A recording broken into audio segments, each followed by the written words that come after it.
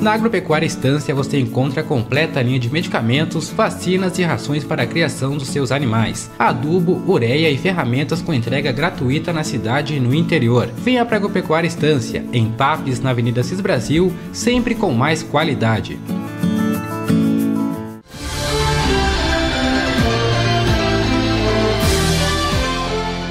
A Brigada Militar, durante a abordagem de rotina, localizou com um indivíduo uma motocicleta com numeração de chassi cortado em um posto de combustível em Tapes. A motocicleta de leilão, conforme os policiais, estava com as placas de um outro carro, uma Fiat Fiorino.